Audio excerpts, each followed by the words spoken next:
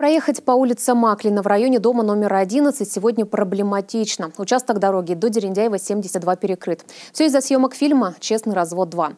По очереди перекроют движение 30 мая и 2 июня на Преображенской и Октябрьском проспекте. 1, 9, 10 июня на Ленинградской и Луганской. 12 числа на Дерендяева. По закону на перекрытых участках выставляют дорожные знаки. Некоторые общественники считают, что деньги на знаки не только выделены из бюджета города. На что именно и так ли это, Ульяна Ездакова попыталась разобраться. Съемочная группа фильма «Честный развод 2» уже расположилась около дома на Маклина 11. За моей спиной вы можете видеть несколько трейлеров. Правда, съемки еще не начались. Возможно, в этом виноват дождь, который целый день идет в Кирове. Из-за разгула стихии чуть не снесло одну из палаток. Правда, киношники быстро подсуетились и вернули ее на место.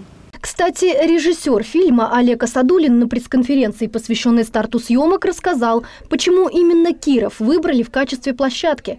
По его словам, в нашем городе множество интересных локаций, где можно развернуться, а это очень удобно. Поддержал его и продюсер картины. Вообще в фильме больше 20 объектов съемок и 20 дней, поэтому все очень плотно. Кировские объекты – это улица Спасская, мы вот э, там хотим устроить э, э, зиму летом.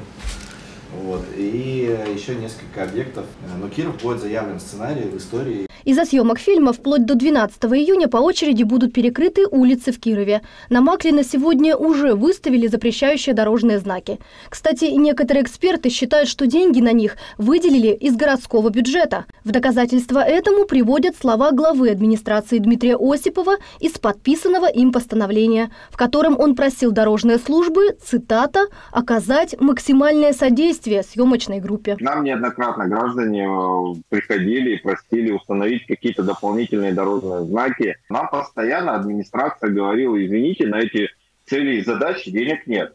А на удивление ради фильма дорожные знаки нашлись, и каким-то образом либо достали из закрома, складов, либо закупили дополнительно. Меня это поражает, просто поражает. Но это еще не все. Депутат Гордумы Денис Ерохин рассказал, что съемочную группу пытались поселить в одной из гостиниц города за счет бюджета. Такие траты народный избранник считает крайне неуместными. Когда люди приезжают и говорят, мы там э, снимем, покажем вас по телевизору, но это, знаете, это э, напоминает ту историю, что мы тут вообще вот просто настолько будем рады, что мы готовы тратить э, бюджетные деньги не на школы, не на садики, а на то, чтобы себя увидеть там э, в телевизоре э, знакомые места там в течение там само нескольких секунд.